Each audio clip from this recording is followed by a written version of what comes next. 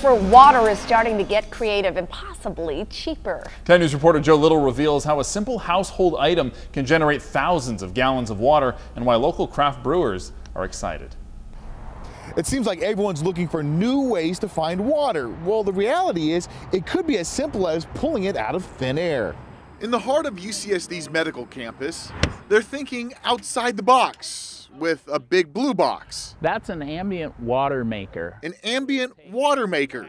Master water specialist John Wamas says it's collecting 400 gallons of fresh, clean water every day out of the air.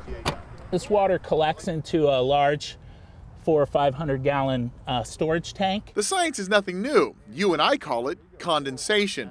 This machine is trapping moisture in the air. Just like you would condense water on the outside of a cold beer. Wamas says this is simply a big air conditioner. New medical buildings will use similar systems to collect thousands of gallons of water a day off their air conditioners. It saves money and water. It's probably not a bad idea to consider that as a source of water. And it's clean, super clean.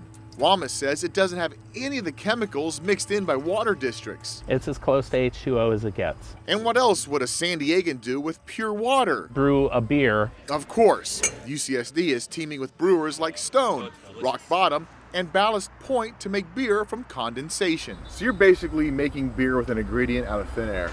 Absolutely. And do a nice experiment. Julia Kane is Ballast Point's director of research. She says this water will save them money by skipping the cleaning process. Normally we would pay for this uh, with a reverse osmosis system that's very expensive. It could save thousands of San Diegans money and water just by tapping into the air around us. Brewing beer out of thin air. I think condensale. Joe Little, 10 News. I love it. Well, Ballast Point says it expects to tap the first keg of condensed ale at the end of May.